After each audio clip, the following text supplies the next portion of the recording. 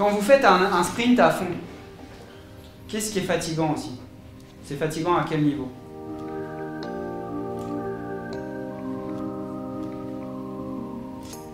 Quand vous faites un effort à bloc sur 5 secondes. Au niveau des jambes, c'est ça? Musculaire. de- Du corps, musculaire. Alors, c'est fatigant, ça crée des dommages musculaires. La preuve, le lendemain, vous avez des courbatures. Mais ça, je veux dire, c'est pas en quelques minutes après le, entre les sprints vous allez pouvoir en récupérer. Je le note quand même. Donc ça crée des dommages musculaires. Puis il y a un autre aspect qui est fatigant.